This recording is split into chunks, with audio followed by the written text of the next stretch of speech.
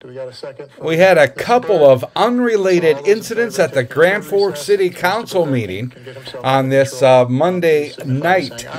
We start with Sean Beauclair, a uh, Grand Forks resident who's always uh, constantly worried about national security following the uh, failed uh, Chinese Fufeng corn processing plant. He uh, went uh, on for five minutes and was cut off. we'll go to the end of his speech here. You can hear a little bit of that before they finally recess the meeting.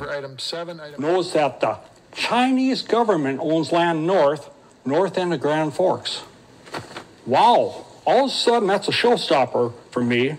We're no longer talking about Fufeng, right? We're talking about China CCP. Thank you, Mr. Beauclair. That's that's going to be your five minutes. Appreciate your time coming up here today. Okay, Mr.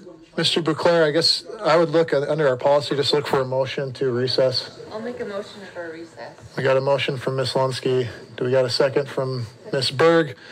So all those in favor of taking a short recess, so Mr. Beauclair can, can get himself under control, uh, please signify by saying aye.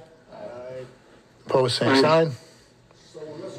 Motion um, is voted unanimously. So, with that, the uh, feed from the uh, Grand Forks City Council took a break, as the council did, and Mr. Beauclair left without incident. However, at the same time, a large police presence outside the building. And we've now learned this had nothing to do with Mr. Beauclair. Just talk with uh, Sergeant Starr, who says uh, they got a tip that a guy who was attending the uh, city council meeting had outstanding warrants and he was arrested outside.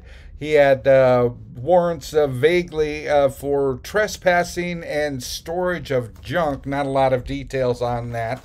Uh, but again, a guy, another uh, person who was attending the city council meeting, uh, police were tipped off that and knew he had outstanding warrants, and he was arrested outside City Hall without incident. I'm Neil Carlson reporting for iNewZ.TV.